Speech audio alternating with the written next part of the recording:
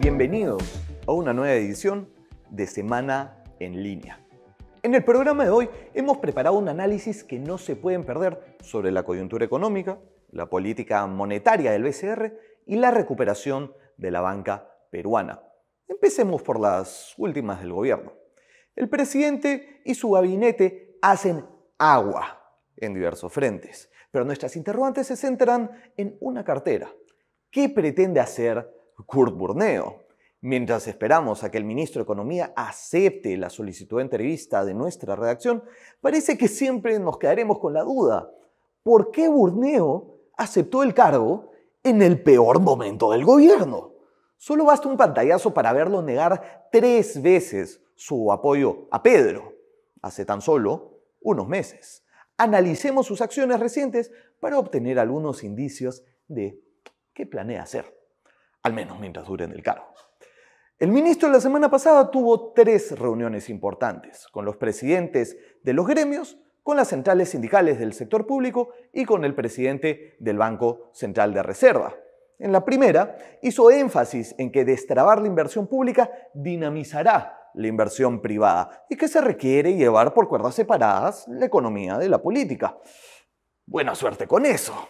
Es un tanto iluso y contrario a cualquier evidencia empírica pretender que la plena inestabilidad política que vivimos no afecte el clima de inversión privada. Finalmente, Burneo se comprometió a presentar en el corto plazo un plan de reactivación económica que estaremos expectantes de analizar. Su reunión con Julio Velarde del BCR levantó más suspicacias. Es sabido que Kurt es un tecnócrata poco ortodoxo. Y entre sus principales blancos de crítica están las AFPs y el BCR. De hecho, en su blog personal, el ministro ha minimizado los impactos de los retiros de los fondos de pensiones y ha culpado al BCR de frenar el crecimiento económico por sus subidas de tasas de interés. Anteriormente incluso dijo que el BCR alienta que el dólar solo suba nunca baje. La reunión, según dijo, era para articular la política fiscal del gobierno con la política monetaria del BCR y declaró su respeto por la independencia y autonomía del Banco Central. Finalmente parece que de poco le sirvió porque al día siguiente el BCR volvió a elevar la tasa de referencia y mantiene una política monetaria restrictiva cuyos efectos analizaremos más adelante. Pero primero, hablemos de la banca peruana. Nuestra redacción ha preparado un reporte especial que analiza al detalle la recuperación de la banca privada nacional. Sin dudas, el camino ha sido largo. La pandemia fue un duro golpe a las colocaciones bancarias y el programa Reactiva Perú se convirtió en el principal motor del sector. En el 2021 parecía que la cosa pintaba mejor, pero vino el ruido político de las elecciones que lamentablemente todavía persiste. Ahora, pasados dos años del inicio de la crisis, la banca privada llega por fin a la senda de la recuperación total y los indicadores de utilidad neta y de rentabilidad han tenido un primer semestre más auspicioso. Esta recuperación de la banca está alineada a la mejora del índice financiero en la bolsa de valores, si se perdieron ese análisis, en nuestro último Inversión y Retorno, pueden encontrar el enlace en la descripción de este video. Para este 2022 se proyecta un crecimiento en la cartera de entre 6 y 8%, según Fitch. Se trata de una cifra moderada en realidad, puesto que habrá una recomposición de los créditos. Los préstamos a través de Reactiva Perú serán reemplazados por créditos directos sin garantías del Estado. ¿Eso implica un riesgo de morosidad más alto? Si bien los ratios de cobertura ante préstamos impagados ahora son menores, las fuentes no señalan que vayan a restringir los créditos en el corto plazo. Además, la morosidad no ha cedido desde el 2020, pero se mantiene relativamente estable. Esto indica que hay también estabilidad en la calidad de los activos de la banca peruana. ¿Cuáles son entonces los principales riesgos para la recuperación del sector? Por un lado, el contexto político internacional. es decir, los conflictos de Rusia con Ucrania y de China con Estados Unidos, son una amenaza para la economía global, aunque a pesar de este contexto, las calificadoras Fitch y Moody's mantienen una perspectiva estable para la banca peruana.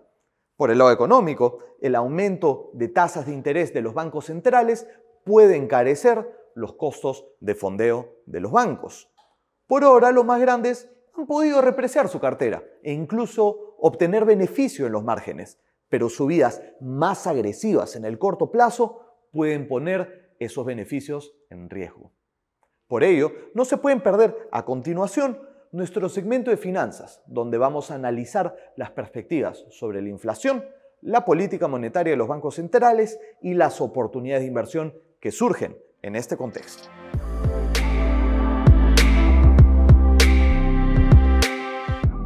Como habíamos anticipado, hoy en Inversión y Retorno, nuestro segmento de finanzas, auspiciado por Prima FP, hablaremos de las consecuencias de la inflación en los mercados financieros y buscaremos las mejores oportunidades de inversión disponibles en este contexto. El aumento de precios es un problema global, pero entre las principales economías del mundo, quizás la más afectada sea la de Estados Unidos. Si en algo han coincidido las encuestas este año, es que el control de la inflación debe ser la principal prioridad en el mercado norteamericano. Frente a esto, el temor de los inversionistas es que la Reserva Federal mantenga una política monetaria restrictiva. Y es que si las subidas de tasas de interés son demasiado agresivas, el enfriamiento de la economía puede mandar a Estados Unidos a una recesión leve, pero con efectos a considerar. Las últimas cifras de inflación en Estados Unidos dieron cierto respiro a los mercados. En julio creció 8,5% anual, mientras que en junio la subida había sido de 9,1%, la más alta en 40 años. Analicemos primero este panorama internacional. ¿Qué podemos esperar de la inflación en Estados Unidos y de la política monetaria de la Reserva Federal en el corto plazo? Hablamos con Renzo Massa, gerente de renta fija de Prima FP, y esto fue lo que nos dijo. Está habiendo un retroceso importante porque lo que estamos viendo a nivel eh, global es que los eh, factores de oferta que generaban la inflación están corrigiendo lentamente. Quiere decir que todas las cadenas de suministros están mejorando. Por ejemplo, todo lo que eran los fletes y transportes marítimos están eh, entrando en la normalidad porque todo el tema de COVID se está, se está mejorando. Eh, la inflación hacia adelante pareciera que debería tender a descender y rápidamente. Eh, sin embargo, la Reserva Federal va a tener necesidad de seguir subiendo su tasa de interés por lo menos un par de veces más. Estamos viendo actualmente que podría llegar a niveles de 3,25 como tasa terminal de su política monetaria. Hoy en día está en 2,25, 2,50 ese es el rango que maneja. Entonces, lo que está tratando de controlar la Reserva Federal es el, lado del choque de demanda, que es más que nada la parte salarial eh, de, Estados Unidos. Y que la tasa de desempleo que hoy en día se encuentra en 3,5, eh, si sigue con su política monetaria restrictiva, probablemente la pueda llevar a 4,5 o 5 de tasa de desempleo. Eso generaría que las presiones inflacionarias por lado de demanda empiecen a, empiecen a ceder eh, en los meses que vienen. En el Perú, como economía abierta, no somos ajenos a la coyuntura internacional. La inflación ha crecido a niveles récord si tomamos en cuenta las últimas décadas. Y el Banco Central de Reserva ha respondido con una política monetaria cada vez más restrictiva. El alza de precios es un problema grave que va más allá de lo económico. Las familias están perdiendo poder adquisitivo y si lo sumamos a la inestabilidad política, tenemos como resultado un clima de mayor conflictividad social. ¿Qué expectativas podemos tener entonces sobre la inflación a nivel nacional? Va en la misma, la misma tendencia que lo que podía estar pasando en Estados Unidos. ¿ya? Eh, la gran diferencia que tienes entre Estados Unidos y Perú es que Estados Unidos sí tienes una inflación importante por el lado de demanda que la Reserva Federal está tratando de controlar. Y por el lado del Perú no sucede eso, porque la demanda interna es, es muy baja. La inflación que estás teniendo es más que nada importada y viene más que nada por los choques de oferta que mencionamos, que es el mismo caso que tiene Estados Unidos. Tienes unos temas de transporte interno, como huelgas en la parte de transportistas, que hace que la inflación se, se demore en bajar. pero no quiere decir que la inflación se esté generando necesariamente por temas internos en, eh, del Perú, ¿no? O sea, una inflación es más que nada importada. Por eso somos de la creencia que hay una, expectativa que, que, el mercado está asumiendo, que los bancos centrales van a ser exitosos controlando el tema de inflación hacia adelante. Eso haría que la política monetaria de, que la política monetaria del, del, del Banco Central estemos llegando a la etapa final. Finalmente, es importante recordar que este contexto de subidas de tasas de interés presenta también oportunidades de inversión, tanto a nivel nacional como a nivel internacional. Mira, renta fija es un, em, es un activo que creo que tiene mucho potencial para los siguientes 6 a 12 meses desde un punto de vista cíclico. Creemos que, como te digo, eh, la inflación va a ir convergiendo lentamente hacia el rango meta en el caso de Perú y en el caso de Estados Unidos. Debería estar entrando en el rango meta para el tercer o cuarto trimestre del 2023. Eso haría eso daría una probabilidad muy alta que muchos de los bancos centrales que están subiendo tasas de interés el día de hoy estén pensando en bajarlas el próximo año. Todo esto asumiendo siempre que el, tema geopolítico se mantenga como está y no se exacerbe las cosas que están pasando alrededor del mundo. Esa es la premisa más importante para que no se genere un rompimiento en las cadenas de suministro que hemos hablado en el pasado. En cuanto a activos, nos gustan mucho los bonos locales. Cuando me hablo de bonos locales, hablo de la deuda de gobierno eh, de países latinoamericanos eh, en moneda local. Es algo que nos gusta bastante. ¿Por qué? Porque los bancos centrales latinoamericanos, a diferencia de otros ciclos anteriores, empezaron a subir tasas de interés mucho antes que la Reserva Federal. En ciclos pasados era el Banco Central Americano el que subía tasas de interés y después venían los bancos centrales latinoamericanos o los bancos centrales emergentes. Hoy en día el ciclo ha sido distinto. El ciclo eh, ha sido mucho más avanzado los bancos centrales por el buen trabajo y la buena definición de su objetivo como política monetaria es controlar la estabilidad de precios o la inflación. Entonces, sentimos que los bancos centrales latinoamericanos están muy avanzados en su, política monetaria y probablemente sean los primeros que tengan necesidad de bajar tasas de interés hacia adelante. Esto que está acá es inversamente proporcional a los precios de los bonos. Cuando las tasas de interés bajan, los precios de los bonos suben.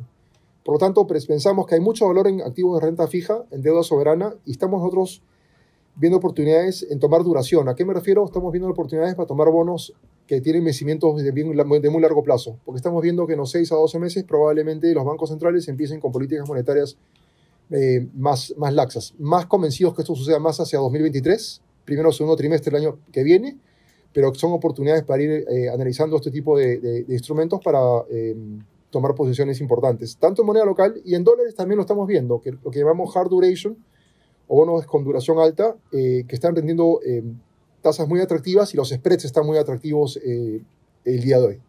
Es sabido que los cambios bruscos de política monetaria inevitablemente generan ganadores, pero también perdedores. Y aunque en este contexto adverso hayan oportunidades de inversión atractivas, la prioridad es que una política monetaria técnica y profesional logre mitigar el aumento de precios para evitar impactos prolongados en los más vulnerables. Seguiremos con más la próxima semana en una nueva edición de Inversión y Retorno. Quédense atentos, porque a continuación, en nuestro segmento de sostenibilidad, presentaremos el caso de una empresa que está dando grandes pasos en la medición del impacto social de sus operaciones.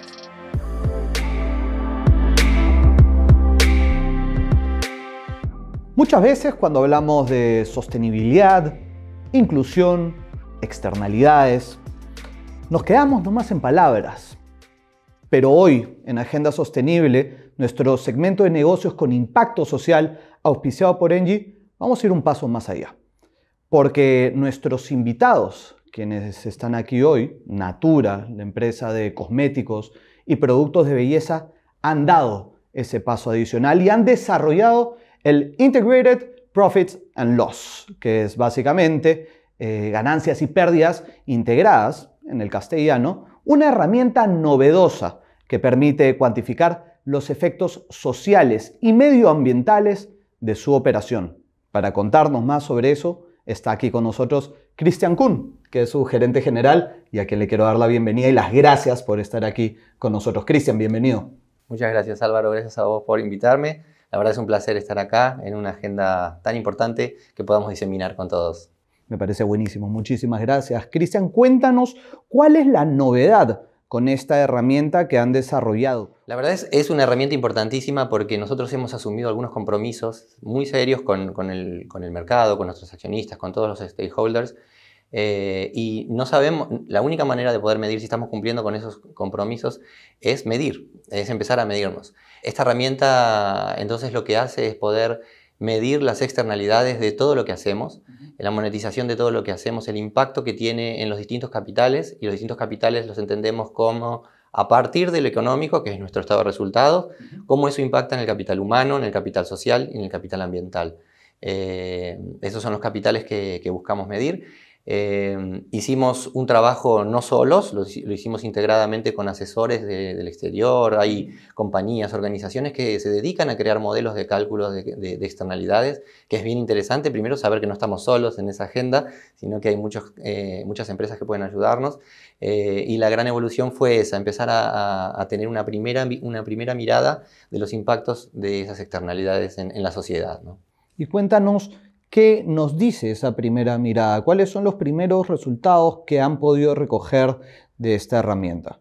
Hay primero un impacto numérico que es bastante fuerte y, potente. Para que tengas una relación, por cada dólar que vendemos hay uno y medio que generamos de eh, valor positivo en las externalidades entre los tres capitales. Eso suena bastante bien. Es bastante, bastante poderoso, bastante, muy, bastante bien. Eh, y eso es algo bueno, es un, un inicio. Lógico es, una medición de impactos, impactos que hay positivos y hay impactos negativos también. Tenemos algunos impactos en el capital ambiental, por ejemplo, que están en negativo.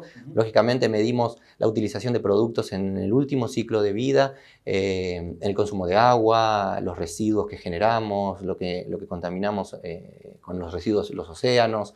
Eh, a pesar de nuestro, nuestro programa de compensación de carbono, sí existe todavía un negativo que trabajar. Por otro lado, tenemos eh, informaciones muy positivas en cuanto a lo que generamos en renta con la red de consultoras que tenemos. Hacemos una comparación entre el salario digno, que no es el salario mínimo, es un, salario digno que cada persona necesita para tener una buena salud, una buena educación y una buena alimentación. Y, lo comparamos con las horas de dedicación en, en el trabajo de consultoría con Natura y hay resultados fantásticos ahí sumados a aspectos sociales como índice de desarrollo, la educación que generamos con nuestro programa de Querer para Ver, eh, y, también el pago de impuestos ¿no? que generamos nosotros y en toda la red que tenemos. Entonces, eh, eso es lo que, lo que pudimos ver como resultados preliminares eh, y son fundamentales para lo que viene. Suena excelente. Cuéntame, ya nos has ido adelantando que igual hay algunos puntos por ir puliendo, cosas por ir mejorando. ¿Cuáles son los objetivos que ustedes se han planteado para el futuro, para un mediano plazo, y cuáles son los retos que todavía están enfrentando hoy? Primero es cumplir los retos que nos, pusimos en los compromisos 2030 que divulgamos con nuestros accionistas y con todos nuestros stakeholders. Eh, eso es nuestro gran objetivo. Con esta medición eh, lo que vamos a hacer es primero eh, poder influenciar las tomas de decisiones, porque las tomas de decisiones hoy las hacemos con, herramientas, con sustentos por detrás. Eh, hoy estamos rediseñando nuestra propuesta de valor de consultoras para, y, podemos garantizar que, que, tenemos la propuesta de valor más competitiva en los mercados donde operamos, justamente porque medimos esto, esto que te decía de la renta digna, eh, que, que es una cosa súper innovadora. El gran reto es incorporarlo en todas nuestras decisiones, eh, aterrizar en variables de, decisión, en proyectos de inversión, en todo lo que hagamos. Eh, y, tal vez un, reto más grande y más aspiracional que es la, diseminación de esto para, todas las organizaciones y para todas las compañías, porque la, crisis climática, las problemáticas sociales que tenemos, no la resuelve una compañía sola. Creo que eso es lo importante de saber. que necesitamos traccionar a que otros también se sumen en esto eh, y este desafío de diseminación también eh, cuenta y es importante y por eso lo estamos comentando desde ahora. Porque finalmente cuando hablamos de sostenibilidad no estamos en una competencia, acá no se trata de cuál es la compañía más sostenible, sino de que realmente generar prácticas transversales que puedan ser adoptadas también por, por nuestros pares. Exacto, exacto, exactamente. Es lo buenísimo. Cristian, muchísimas gracias por estar aquí. Felicitaciones por esta herramienta que han desarrollado en Natura y esperemos que pronto la podemos, la podamos ver, como decimos, de manera generalizada en el mercado peruano y bueno, a nivel global. Sí, eso es. Bueno, gracias a ti por la invitación. Y eso ha sido todo por hoy, eh, tanto en Agenda Sostenible como en Semana en Línea. Muchísimas gracias por habernos acompañado una semana más en este espacio. Ya regresamos el próximo lunes con muchísima más información. Chao, chao.